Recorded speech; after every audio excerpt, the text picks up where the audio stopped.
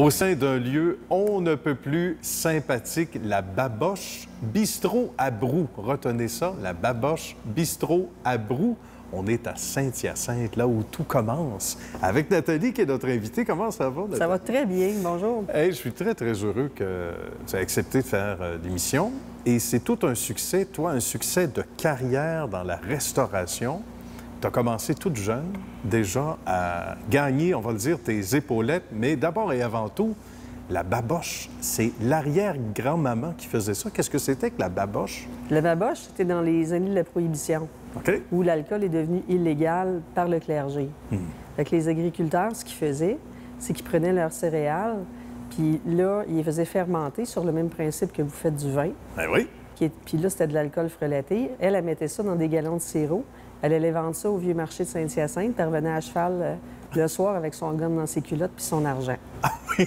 Avec- On est dans Luc et Luc. Et voilà. Euh, avec ça, ouais. spécial. Elle s'était acheté euh, toutes les terres sur la 235 euh, qui mène à Saint-Pied-de-Bagotte, Oh, puis wow. trois maisons. Juste ça, c'est pas pire. Ouais. Écoute, pour une femme, à l'époque, là, donc l'époque de la Prohibition, 1915, Ouais, dans ces mille- eaux-là, entre euh, 1915-1920. Oui. Ça en fait. Hey, C'était tout un tour de force. On dit que les pommes tombent pas loin des pommiers. Et on comprend bien quand on a une idée un petit peu, puis je veux que tu nous racontes ton cheminement à toi.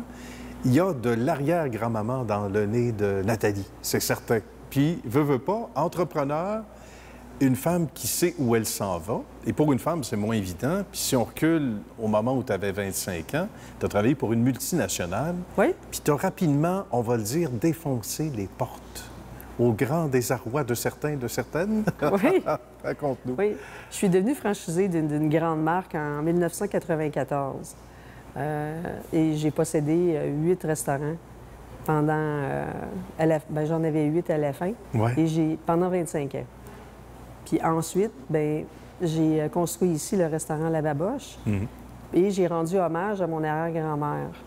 Les microbrasseurs savent le tour de faire de la bière, mais pas de la bouffe. Ah, c'est vrai. C'est ce Généralement, on les voit, tu sais, qui font euh, souvent des hamburgers, de la friture. Hmm. Fait que j'ai dit, moi, j'ai essayé de me démarquer dans un segment de marché où j'ai dit, euh, si je distribuerais des bières de microbrasserie, mais qu'on on irait chercher une cuisine plus raffinée, on, on se dé- on va se démarquer sur le marché de la restauration en le faisant comme ça. Fait que j'ai la chance d'avoir un chef marseillais. On travaille avec des produits du terroir. Je suis moi-même une fille d'agriculteur. Avec un bagage Ouais, colossal. Et euh, on a des certifications terroir. Fait que nous, notre priorité, c'est vraiment de créer de la nourriture, de la ferme à la table. C'est bien dit.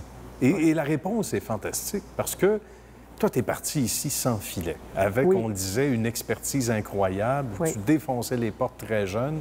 C'est vrai que dans ton ancienne vie, on entendait en coulisses que tu brassais. Tu as ébranlé les colonnes du temple. Oui. Il y a Des gens qui disaient Ah, Attention, c'est qui? Elle vient de commencer, Ouais. puis tu es en Ouais, train de nous dire quoi 25 faire. ans, oui. Imagine, c'est colossal.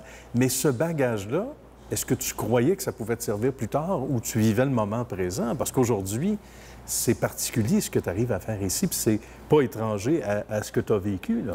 Non. Par contre, moi, ma priorité, ça a toujours été de créer des expériences pour les clients. C'est le, le fondement de l'industrie de la restauration. Ouais. Mon plaisir, c'est de servir quelqu'un. La question que je me posais à chaque jour, c'est comment demain on peut faire mieux? Comment on- Parce que c'est la surstimulation des sens. Quand vous venez manger chez moi, mon travail, c'est de vous créer un moment donné où vous avez l'impression que vous êtes la personne la plus importante au monde. Même si vous savez que c'est pas vrai, même si je le sais aussi. C'est- mon on pense mandat. que c'est vrai. Oui. C'est Je, comme- je joue au théâtre, puis mon Ben restaurant, c'est une scène. Fait que mon travail, oui, mon Ouais. travail, c'est de vous créer un moment euh, où euh, c'est juste à vous. Je veux revenir sur l'histoire. Tu dis que tu rends hommage à ton, ton Mon arrière-grand-mère. Albina. Ouais. Ah, voilà. Oui. Et qui doit, mon Dieu, être très, très fier de sa petite fille aujourd'hui, de son arrière-petite fille. Quand on regarde l'histoire, évidemment, qui nous sépare de, de cette période-là, là, tu t'es dit non seulement je lui rends hommage, mais je vais le faire à la sauce 2022-2023 minimum. Oui. tu as déjà un plan de match où tu as à l'esprit ce à quoi ça devrait ressembler? C'est sûr que l'industrie de la restauration est en train de vivre une transformation de fond. Oui. On ne pourra plus exercer notre métier comme on le fait il y a 30 ans. Le manque de main-d'œuvre est une des causes principales de ça. et l'augmentation euh, des coûts de production. C'est comme euh, si votre épicerie vous coûte euh, 7% plus cher, bien, moi, comme restaurateur, il y a un coût qui va s'ajouter. Tout à fait. Vous avez un pouvoir d'achat comme consommateur X, vous avez un budget de resto par mois. Puis donné, je ne peux pas passer ma vie à vous transférer la facture que moi je paie, autant à cause de la nourriture que de la main-d'œuvre. Parce que vous ne serez pas capable d'absorber, vous. Vous allez dire, j'aimerais ça y aller à la baboche, mais c'est trop cher. Fait Puis on qu'il veut pas ça. Puis déjà, Non, on on, veut est pas ça. Fait beaucoup qu'on- en dessous des, des on est obligé Ouais. de modifier nos façons de travailler et euh, le manque de main-d'œuvre fait qu'il faut qu'on élabore des stratégies avec la technologie, probablement tu sais, des euh, ghost kitchen, tu sais, Ah, ou, oui, euh, OK. On entend pour ça. aller sur des euh, cuisines fantômes, euh, Hmm. des nouvelles lignes de service, des nouvelles façons de travailler. On a vu au Casino de Montréal les robots euh, qui se promènent pour faire du service. C'est vrai. C'est pas encore optimal. Je pense qu'il y a encore Il y a place petit à- peu de travail. il y a encore une place à l'innovation au niveau de la technologie. Mais vous allez voir le monde de la restauration se transformer sous vos yeux.